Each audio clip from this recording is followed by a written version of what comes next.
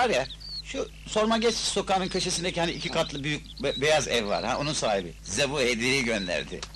Hediye gönderdi ha? Evet. Çok kibar, eli açık kadındır bu Makbule Hanım. Hakiki bir Müslüman, yardımseven bir kadın. Herhalde yiyecek bir şeyler gönderdi. Vallahi bilmiyorum. Bilmez misin baklavayı?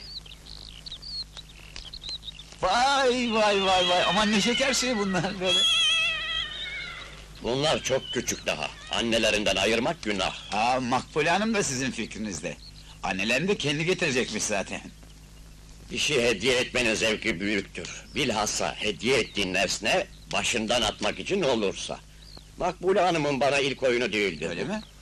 Kocası öldüğü zaman adamın yırtık fanilelerini, şemsiyesini ve kasık bağını göndermişti. Haydi